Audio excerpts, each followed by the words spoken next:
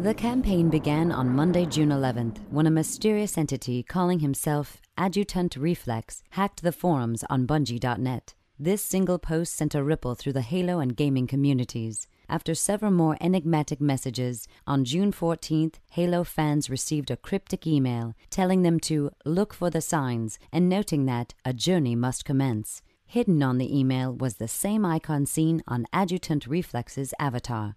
Later that night, the next clue was discovered small ads in the weekly circulars for Best Buy and Circuit City containing the now familiar glyph and pointing users to an online comic. The comic, for the first time ever, told the story of how a Forerunner structure was built on Earth. Hidden in the final panels was the Iris glyph.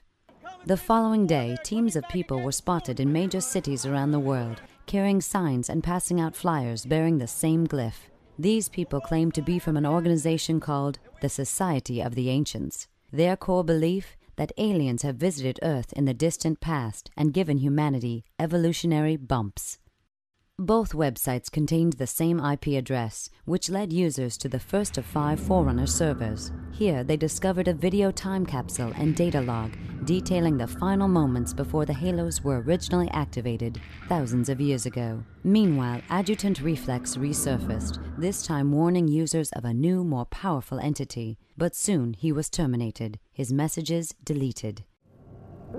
The game had begun. Over 400,000 users visited Server 1, and traffic to Halo3.com more than tripled. Forums on Bungie.net and major fan sites came alive.